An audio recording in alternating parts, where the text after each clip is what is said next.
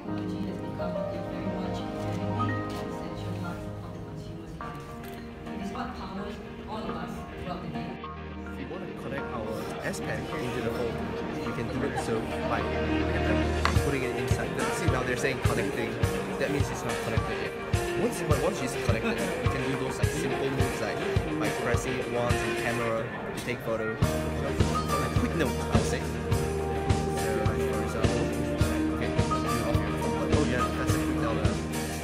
Down. uh, Maybe someone's number. And after that, you have to like say like what oh, well you have to prepare this one, this one, this one. And you want to save it to the notes. You can write this kind of thing, hundred pages, and save it into the notes.